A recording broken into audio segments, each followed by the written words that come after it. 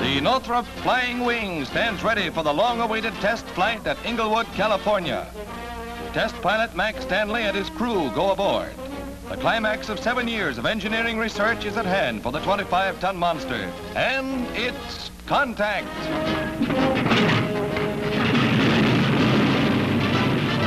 The four 3,000 horsepower motors turn the coaxial propellers of the 25-ton giant. Pilots have expressed amazement that the tailless craft has precisely the same flight characteristics as conventional models.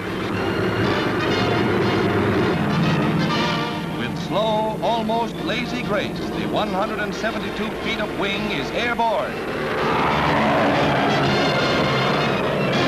15 sister ships are under construction for the Army, which will use them as bombers. Fully loaded, they will weigh 50 tons. The flight engineer is a busy man during the test flight. A radical change in design and a new chapter in the steady march of aviation comes forward to challenge the imagination.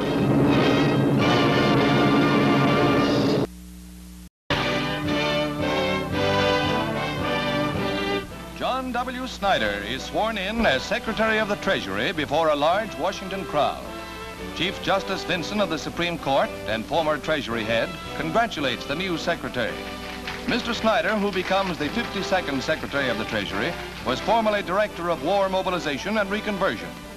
In accepting the office, he said that his goal would be to balance the budget by 1947.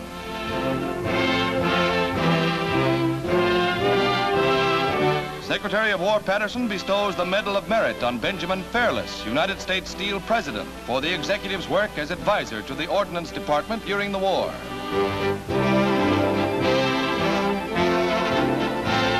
Industrialist is credited with much of the planning and organization that kept weapons moving to battle. As President Truman looks on, John R. Steelman, his labor advisor, is sworn in as Director of War Mobilization and Reconversion.